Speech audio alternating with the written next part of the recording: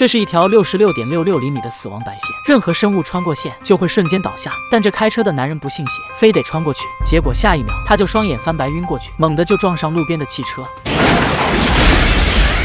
由于事态过于离奇，佛波勒也赶到了现场。他们派出一个手下，不仅头戴防毒面具，腰上还系着绳索，以防等他晕了就立马拉回来。哪知手下刚踏出白线没几米，就瞬间晕倒，大伙赶紧把他拉回来，没一会就恢复了意志。而就在几个小时前，白线内的小镇正举办着活动，哪知一瞬间功夫，镇民就集体昏迷，家里、广场、大街就没有一个人是苏醒的。而且不仅是人，就连鸟、牛群都通通中招。可就在佛伯勒一筹莫展时，县内的生物却集体苏醒，似乎一切像是恢复了正常一样。但也有的人比较不幸，晕的时候倒在烤炉上，直接就给当烤肉烤熟了。本以为小镇恢复了正常，却不曾想镇里的女人居然一夜之间就集体怀上了孩子，而且孕期时间短的惊人，前一周还是四个月大的肚子，这周就直接全到产房生起了娃。眼看婴儿一个个出生，却唯独生出了个死胎。医院本该将其处理掉，但一位病理学家却将其带回了实验室。并通过其他婴儿的基因研究发现，所有婴儿都来自于同一个父亲。病理学家怕妄下结论，并没有告知镇民，而镇民们也就这样全都沉浸在新生命诞生的喜悦中。可两年后，奇怪的事发生了，明明才两岁大的孩子，字都不认识，却能拼出自己的名字出来。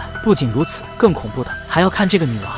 仔细看好这个女孩，她的双瞳忽然变绿发亮，眼前的母亲就不受控制，抬起手臂就放进了滚烫的热汤。就算给痛的大叫，母亲都无法控制自己。直到邻居赶到，女孩这才住手。到了医院，丈夫想问她受伤的缘由，她本想开口，却又遭女孩控制，话放在嘴边了都丝毫无法说出。结果母亲才刚出院，女孩就控制她走到悬崖边上，猛地就往大海坠去。时间一晃过了几年，这群同年同日生的孩子却结伴成群的走在一起。诡异的是，他们都顶着一头银发，很难不让人怀疑，他们正是外星人诞下的产物。而今天，孩子们被安排做眼科检查，哪知医生拿错药水，滴的女孩痛到大叫。这下完了，外头的同伴瞬间盯向房间，下一秒，他们就推开门，双眼一瞪，红光一闪，医生就不受控制，将手中那拿错的烈性药水全到了眼球。事后虽然人没什么事，但医生却瞎了。当佛波勒问起事件缘由，对方都记不起任何事情。因此，这群孩子虽然深受怀疑，但也因没有证据而不了了之。之后，他们再次结伴出行，却唯独一个小男孩擅自离开了。只见他来到墓园，似乎在寻找着什么。这时，他撞见前来祭奠妻子的大帅，并问其当初那具死因在哪。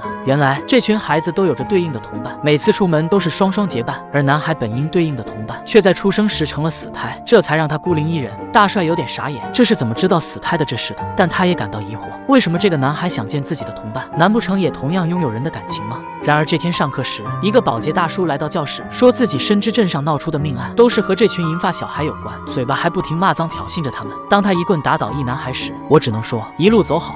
这个男人将木棍对准胸口，接着在这群魔童的控制下，嗖的就从楼上摔了下去，木棍直穿胸膛，场面可把人看得恶心。目睹此事的大帅亲自找到病理学家，说就是魔童们搞出的命案。哪知对方拿出报告表示，不仅在这个镇子，其他小镇也一样，同一天里就出生了三十多个孩子。接着学家将大帅带到实验室，亮出了当初带回来的死胎。大帅人都看傻了，那居然是巨外星人，这也解释了那帮魔童的超能力。而要想对抗他们的念力控制，脑子就不能有任何想法。哪知第二天，身处农场外的魔童却被一名佛波勒用狙击瞄准，可他忽然感到背后一凉，等回头望去，四个魔童就在身后盯着自己。这下完蛋！只见他们双眼一亮，佛波勒就不受控制，直接朝自己扣下扳机。而这次之后，镇民们集体暴怒，全都想把这群魔童挨个手刃。哪知带头冲锋的镇民被他们一个念力操控，直接就引火自焚了。没多久，大批警察和军方也赶到现场，哪知这不仅没伤魔童分毫，还遭他们控制，纷纷内斗，打了个团灭。只见这时大帅却来了，他手持手提箱找到魔童，并让那个拥有感情的男孩被其母亲带走。哪知剩下的魔童一瞪眼，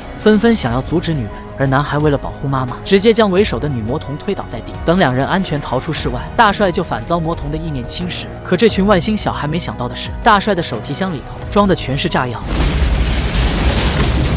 就这样，大帅跟着魔童一起同归于尽。之所以这么做，都是因为他在经历了妻子的坠崖离去后，现在又得知了女儿是魔童中为首的老大，因此他早已放弃了生的希望，这才牺牲自己拯救剩下的人。